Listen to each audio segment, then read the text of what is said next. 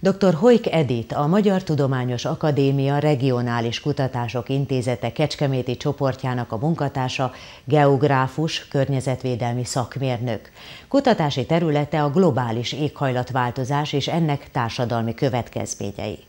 A Cédrusnet felkérésére szenior közönségnek tartott ma előadást Klímaváltozás, életmódváltás címmel. Jó estét kívánok, köszönöm szépen, hogy elfogadta a meghívásunkat. Hát eh, mennyire vagyunk bajban? Nagy viták vannak, hogy, eh, hogy most már nincs lejjebb. Nem tudom, hogy, eh, hogy most akkor már meg kell alakítanunk a válságstábot. Milyen kilátásaink vannak? Ez így igaz, hogy nagy viták vannak, hogy tulajdonképpen innen még van-e visszaút vagy sem.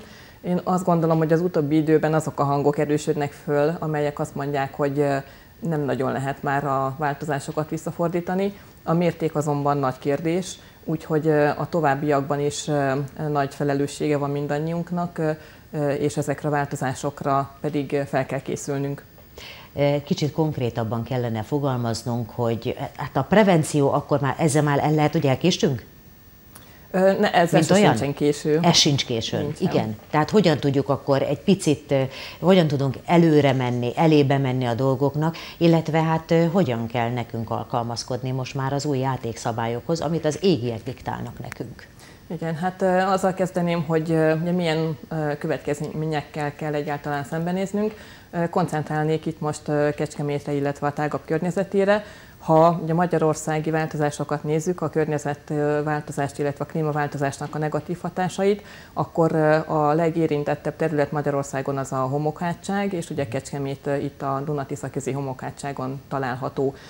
A legnagyobb probléma az a szárazodás, a vízhiány, ami alapvetően nem is abból fakad, hogy csökken a csapadék, hiszen hogyha a sok éves átlagokat megnézzük, akkor nagyjából azonos szinten vagyunk mondjuk az 50-60 évvel ezelőttihez képest. A probléma inkább a szélsőségességben van, abban, hogy a, a csapadék az nagyon rossz eloszlásban érkezik, és ami lehullik, az nem tud hasznosulni, mert elfolyik, mert nem fogjuk meg a vizet, mert elengedjük városainkban, egyéb területeinken egyaránt, és ezáltal olyan, mintha nem is esett volna le.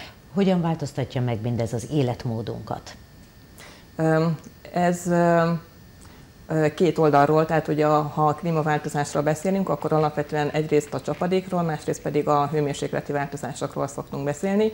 Ha a csapadékról, vízről van szó, akkor vagy az a baj, hogy nincsen, tehát például asszály van a mezőgazdaságban, vagy az a baj, hogy túl sok van, árvíz van, belvíz van, ugye erre is, ezt is ki kell védeni, erre is fel kell készülni, ennek is gazdasági társadalmi szempontból mélyreható, messze menő következményei és felelőssége van. Hát gondolom csatornázni is kellene, nem? Meg az öntözést megoldani és minden egyebet, és ezt a pikpak egyik pillanatra a másikra azért nem lehet. Erre, erre tényleg fel kell készülni, így de van, még időben. Így van, hogyha mondjuk konkrétan a városokra, a mi városunkra, Kecskemétre gondolunk, akkor nagy szükség lenne az úgynevezett városi csapadékvízmenedzsment megvalósítására, ami pontosan arra helyezi a hangsúlyt, hogy a lehulló csapadékot hogyan tudjuk megtartani, hogyan tudjuk tározni, tárolni azokra az időkre, amikor szükség van rá, és ezzel például a városi zöld felületeket öntözni és egyéb szempontból hasznosítani azt a vizet, ami az asszályos időszakokban nagyon is hiányzik, most pedig elengedjük ezeket a vizeket.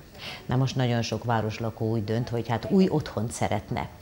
Ez mennyiben kihívás a, a közeljövőben, hogy mások a klimatikus viszonyok, mert hát azért csak megfölünk a négy fal között. Hogyan lehet gazdaságosan, igazán hát természetbarát módon építkezni. Ma már nagyon sok lehetőség, megoldás van arra nézve, hogy milyen az úgynevezett környezettudatos építkezés, vagy klíma tudatos építkezés.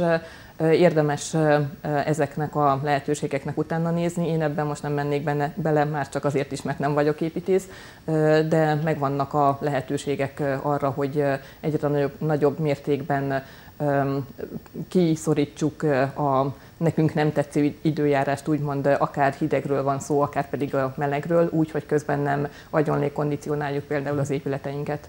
Meg mondjuk van olyan, hogy önfenntartó épület, sőt, még, amelyik még termeli pluszban az áramot, jól így tudom van, így, így van, ezeket aktív házaknak nevezik, és ezeknek pontosan ez a lényege, hogy nem csak nagyon kevés, vagy éppen semennyi energiát sem használnak fel, hanem a különböző megújuló energiát felhasználó rendszereik révén még pluszban is szolgáltatnak energiát, amit adott esetben a hálózatba is vissza lehet táplálni.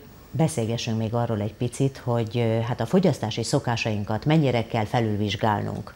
Mi lesz igazából környezetbarát ebből a szempontból? Hát itt a különböző fogyasztási termékekről külön-külön is érdemes lenne beszélni. Én most elsősorban az élelmiszerekre hívnám fel a figyelmet, arra, hogy törekedjünk arra, hogy minél több helyi élelmiszert vásároljunk helyi termelőktől, hiszen így tudjuk a leginkább megóvni magunkat és a környezetünket is a káros anyag kibocsátástól, és hozzájárulni a felmelegedéssel szembeni védekezéshez. Hát nagyon szépen köszönöm a beszélgetést, és hogy befáradt a stúdióba. Köszönöm szépen Sok hasznos tanácsal látott el bennünket.